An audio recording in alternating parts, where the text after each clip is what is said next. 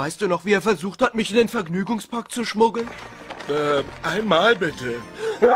Ah, Augenblick mal, ihr Hintern hat gerade genießt. Und Pferde können nicht reden. Nein, nein, nein, nein, das Ganze stimmt doch vorn und hinten nicht.